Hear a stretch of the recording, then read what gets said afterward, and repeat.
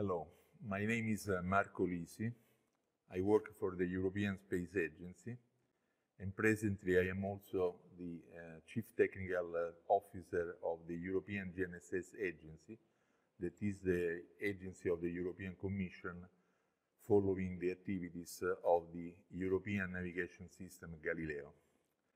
Today I will speak about the satellite link budget. The satellite link budget is very important in uh, all uh, satellite applications because whatever is the mission of the satellite, so not just for communication satellites, but in general, whether your satellite is for Earth observation or for a meteorological type of application or scientific application, you do need to communicate with the satellite. So do, you do need to calculate the best way how to size the communication uh, link between the satellite and the Earth and vice versa. So having a look at the outline of my lesson today, we will start defining the meaning of budget. Then we will speak in general, not just for satellites, about RF links. I will very shortly introduce the concept of antenna directivity and gain, we will speak about power flux density and EIRP. We will uh, calculate or derive the so-called free space path losses, and we will introduce the Friis equation, a very important equation in, uh, in the definition of a link. We will go through the definition of slant range, atmospheric attenuation, and uh, we will speak about the importance of the signal-to-noise ratio through the introduction also of the Shannon's theorem, that is a very fundamental theorem in uh, communication in general, in the information theory and the communication theory. After having defined and realized the importance of the signal-to-noise ratio, we will introduce the concept of noise temperature and specifically of antenna noise temperature, and the noise temperature of a receiving chain through noise factor, noise figure, and system G over T. And this we will connect to the concept of EB over N naught and of bit error rate. Eventually, I will uh, summarize uh, all uh, the lesson in a very short and simplified link budget procedure through which one can get the most of the information needed to size a communication link between satellite and, and ground. So let's start uh, defining uh, the satellite link budget, uh, speaking about a budget. So I want to demystify uh, the, the lesson in itself and the topic in itself, saying that the budget is simply what uh, our uh, mothers and any housewife does when she has to make shopping, Uh, deciding about the groceries and food to buy. So you have uh, an allocated amount of money and uh, you know what you want to do or what you need at home. And then you make your calculation, your shopping list, and you try to fit into the, your, your budget, exactly, so in your available money. At the end of the day, what you do is to make uh, addition and subtraction. So this is what is going to be eventually the link budget. So nothing special, relatively simple calculations. There are indeed some uh, non-trivial concepts to be taken into account. There will be three or four very important concepts, concepts that have to be well understood but uh, at the end of the day, the link budget is a relatively uh, simple thing. Of course, uh, this lesson will introduce a link budget with a lot of simplifications. If you want to do something very professional, you have to go and take into account uh, all the uh, even second order effects that uh, can affect the link budget. We will skip most of them. We will just touch upon them but the basic concept of link budget will be all covered. So let's start, first of all, with the, the, the most general situation that is, in fact, the, the, basic RF link. We are not even speaking about satellites now. The problem uh, is very common, and in nowadays uh, technology, let's say with all the wireless technology around, it's a problem that is faced many, many times. I have, I have want to size the link between a transmitting station and the receiving station. So on uh, oversimplifying, if you want, uh, on one side I have a transmitter that is delivering a certain power, RF power, to an interface to free space that is the antenna, and the antenna is characterized by a certain gain. So I will have a transmitter that is a chain, in fact, starting from data with the modulators, encoders, uh, power amplifiers, RF power amplifiers, but for me it's a black box. At the output of this black box, I have a power that I call P sub T, is a power uh, provided by the transmitter, and this power, this RF power, is fed into an antenna, a transmitting antenna, with a gain G sub T. And this is one side of the, of the problem. On the opposite side, I have a receiver chain with a lot of electronic components, uh, probably filters, uh, low noise amplifiers, uh, down converter mixers, and so IF amplifiers, and so on. For me, it's a black box, and at the input of this black box, I will have a received power that I call a P sub R, and this power comes, this received powers, power comes from a receiving antenna with an associated gain G sub R. In between the two antennas, this is the most common and general case, there is a free space.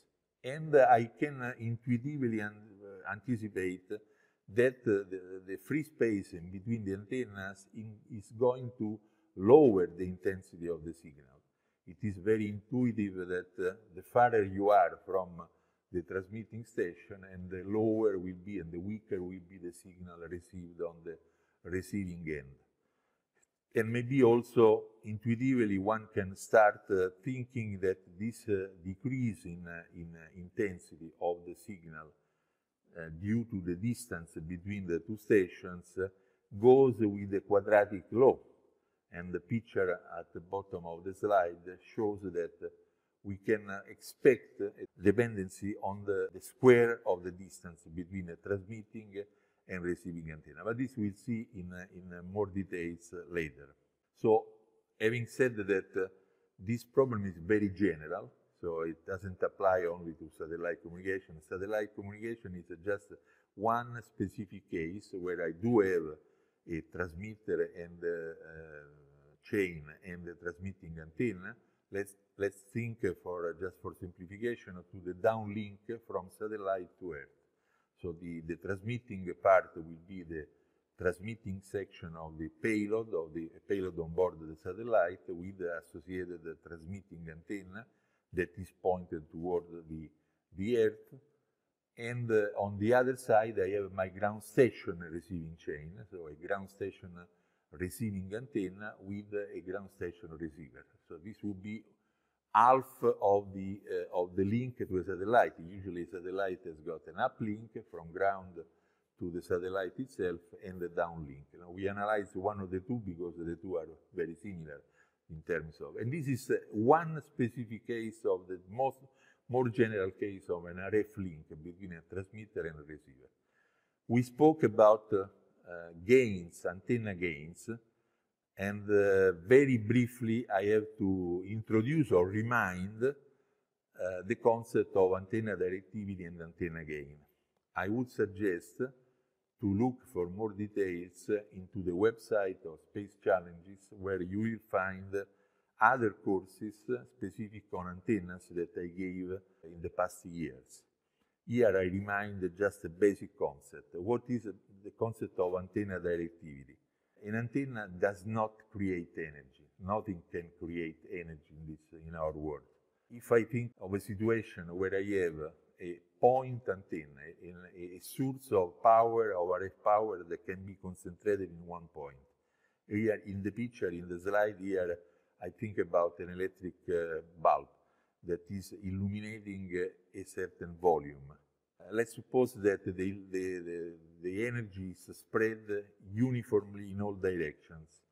So if I uh, draw, uh, let's say, I think of a sphere around the source of energy, whichever is the radius of the sphere, uh, uh, the energy spreads uniformly over the surface of the sphere.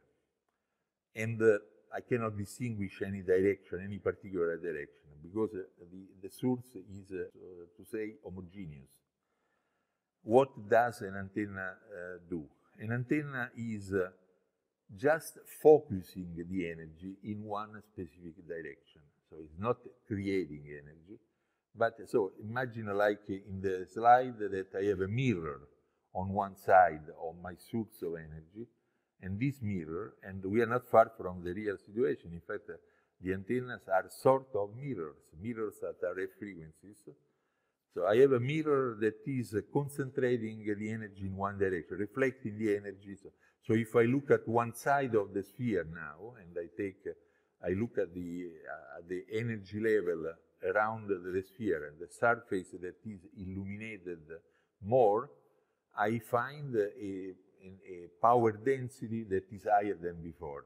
But there is no trick in here, eh? because if I go instead to the opposite side, then the, uh, the energy, the power density is lower than before. So eventually the conservation of energy is maintained. So there is no way to uh, actually produce new energy. Antenna is a passive, a completely passive, and even an active device is just transforming energy and not creating energy. So the antenna has this capability to focus energy in one direction. And in that direction, you, you do experience uh, the situation where your energy source, your power source, is, looks higher than what it is in reality.